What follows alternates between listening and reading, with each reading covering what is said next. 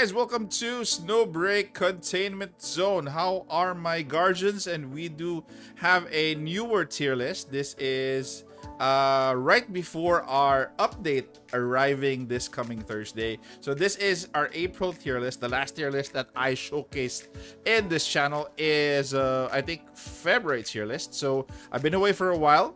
I'm actually back. I'm actually covering, I'm going to be covering this game plus other games on a regular basis from here on out. So without further ado, let's discuss our April global tier list. Okay, so we have here Haru for tier 3, nothing more to say.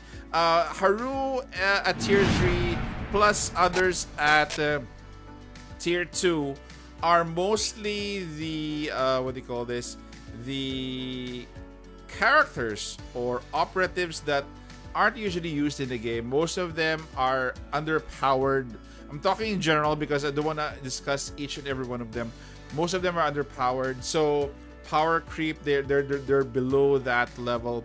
Um, it would be good if we did have game modes that we could use four stars because we have a lot.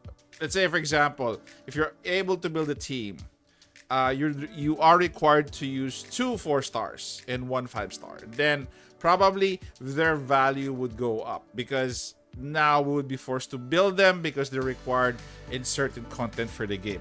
That's the only time that I think that they would increase in value. But tier 2 and tier 3, sadly, um, most of majority of the whales or and also the mid-tier players um, don't use them unless they're really a favorite of that certain player uh, eventually, if you have better uh, operatives or better characters, then you would really develop those rather than these at tier 2 and tier 3. So, no discussions here much.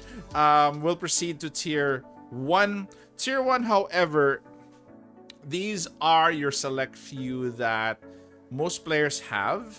Most players are using because they're good they fill a specific role, especially most of your support units are here, namely Mauxir, namely Yao, um, Yao, one of our best healers, Chen Xing, healer, support as well.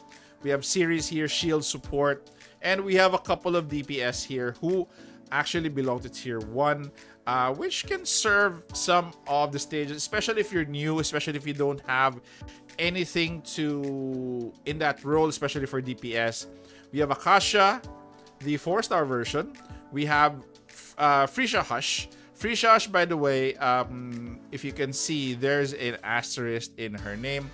Uh, provided she's a tier one, provided that she is um, you've invested a lot in her, uh, especially in terms of manifestation, uh, in terms of gear, in terms of everything it's she's really high investment to be here at tier 1 also with marian swift um high investment as well for tier 1 so again these at tier 1 are going to be your fillers. Some of them would be your main depending on how far are you in the game. If you're a beginner definitely you'll still be using them. But they are very good player they're very good operatives or characters uh, you can actually still use them even up to the mid game and late game. Okay, but not all. Uh, most uh, most of the use will probably come from the supports because most of your supports will be found in tier 1. Okay, so next up we have your tier 0.5. Okay, so this tier includes Lyfe Wild Hunt again, provided that Lyfe Wild Hunt is uh, has full investments. For me, I've already finished her manifestations, and I believe she is at that. Her potential, her damage potential, definitely has a, a big increase, especially if you have a tier 5 weapon. Right now, I don't have a tier 5, uh, no, not tier 5, tier 2. You only get two copies of the weapon for a full, you know, full stat. So I only have one copy. I still need one other copy to I think fully maximize her. But right now, even if I have a, I only have a one one copy of her um, unique weapon, definitely she is still hitting a lot.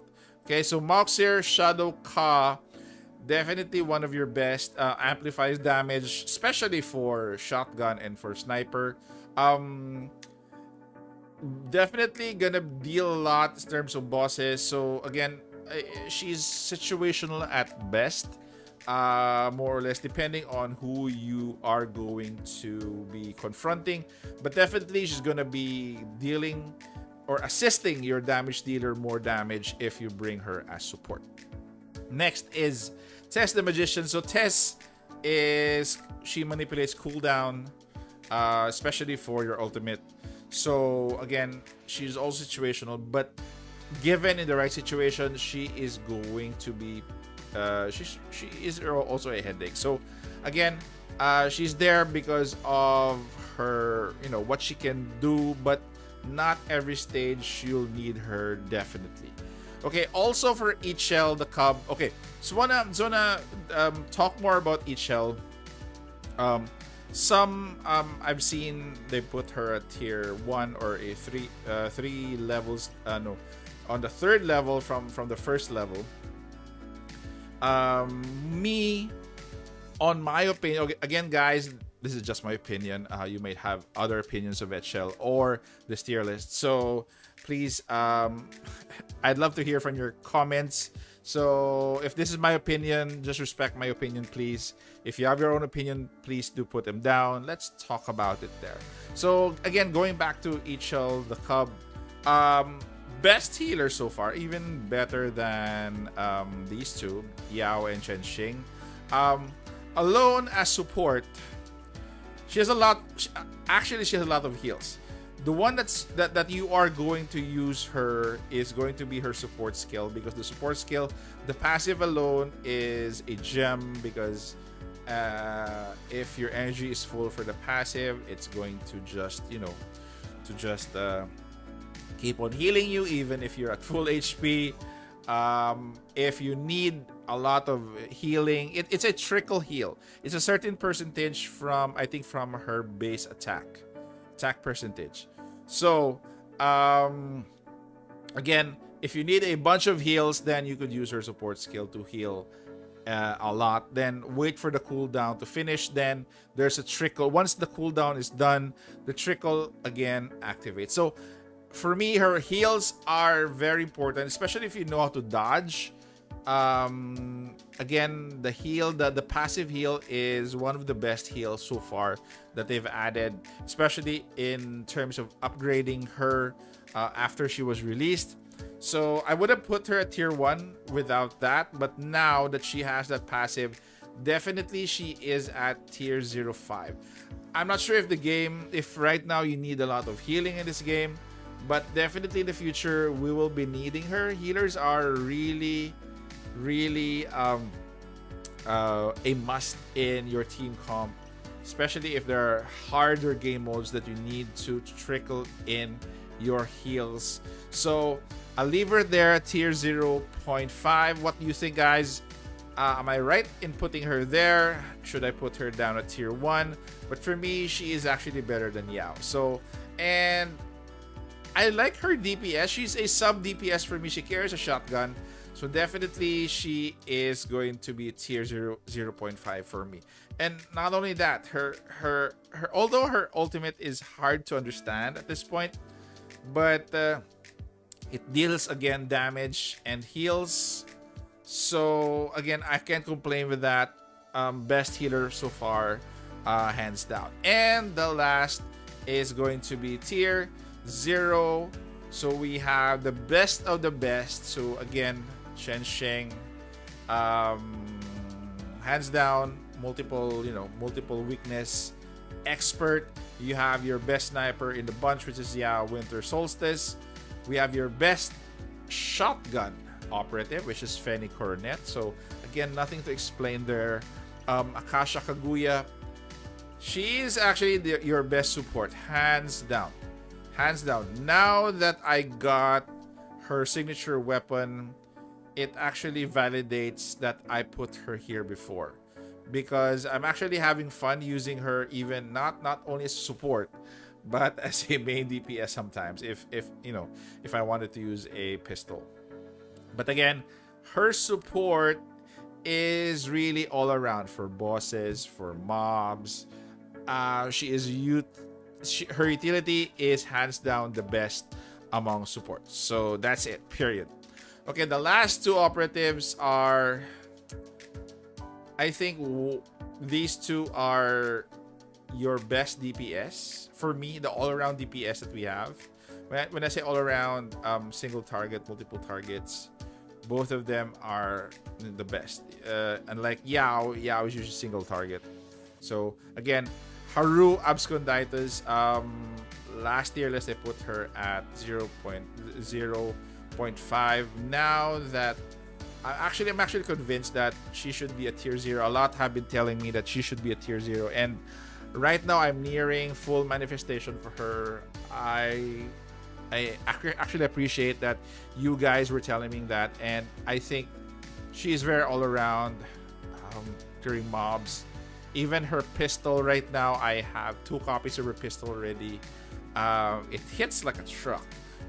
So, um, again, and with the extra bullet that I have for the build, I have 13 bullets with her pistol. Basically, she hits like a truck, I tell you. Especially with the pistol. Um, if you don't have uh, her her unique pistol fully upgraded uh, with two copies with one, it's okay. But if you have the second one, definitely the damage for the pistol is going to be ouch. So that we'll leave it at that. And the last is going to be Katya Blue Bolt. Who doesn't like unlimited ammo, by the way?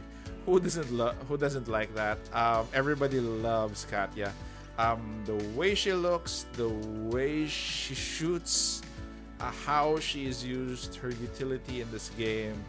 Um, she's really a fan favorite for me. Probably um, a carry for Snowbreak in you know now in the near future. So again, um, with the damage, with the mechanic, with the with the uh, AOE damage for the grenade arrow, I think it's one of the best kits that we have in terms of DPS. So very versatile. Sometimes I use Haru and Katya both in one team. So who can who can complain with that guy? So again, um, please be gentle with your comments if you don't um, like how I arrange some of these ladies here. Please do comment gently in the comment section below. I appreciate your comments, guys, and would like to know your thoughts and um, by the way, if you actually don't want to go back to this video, I will be putting a link to the description and hopefully I could update this every after every after a new update. So definitely by May, May at least first week of May, when we have um, tried out the what do you call this, the two new operatives coming out uh, we can have more to talk about for the next tier list. But for now, for the April tier list 2024, these are your girls. And again, guys, I'm glad to be back. Happy to be back. So see you soon. Take care. Stay safe. This is the Warden, and I'm out of here.